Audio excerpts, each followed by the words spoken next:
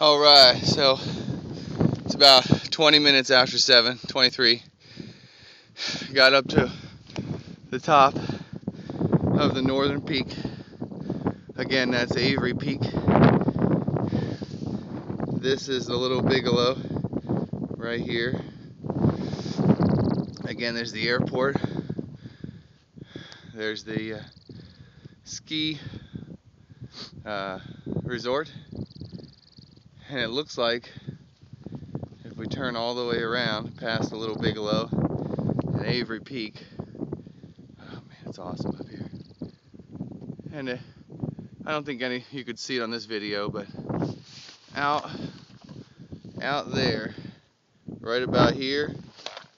Oops, I'm dropping my poles. Right about let's see here and all over here are giant white wind wind turbines. So it's very interesting to see. But we met some interesting folks last night. Larry and Shelly.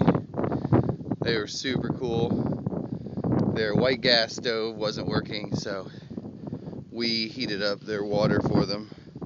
And they had some slightly warm couscous because they needed a lot of water. But uh, but they were super cool. We had a pleasure talking with them. And then now we're leaving out of here and we're going a couple miles into Stratton and uh, should be really nice. Speedy G's coming up the uh, trail now. Morning, Speedy.